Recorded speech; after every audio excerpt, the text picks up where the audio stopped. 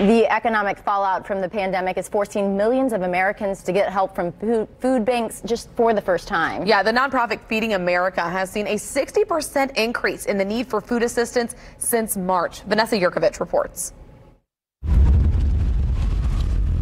The journey to get food through the cold and COVID 19 has been long and hard for Regina Status. Gotta take it one day at a time, and as long as you have for today, you save for tomorrow. When tomorrow get here, something's gonna happen. And it did, just in time. Thank you. No problem.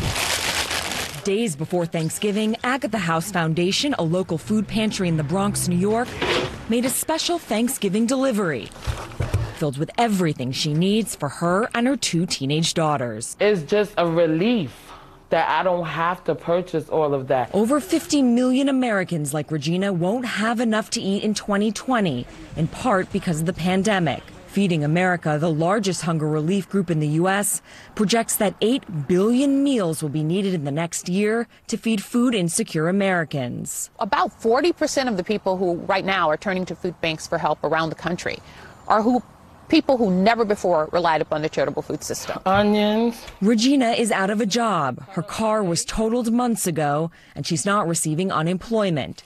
She now relies on a once a week delivery from the food pantry. Day to day, is your pantry stocked or what does it look like day to day? Just survive it. That's all I can say. You just have to survive it. The 15th congressional district here in the Bronx has the highest food insecurity rate among children in the country. At Agatha House, they're hoping to take the stigma out of needing a little extra help. We have to look and, and try to imagine ourselves in the position what we would want for ourselves, not just to give them a cardboard box, but to make them feel love, special.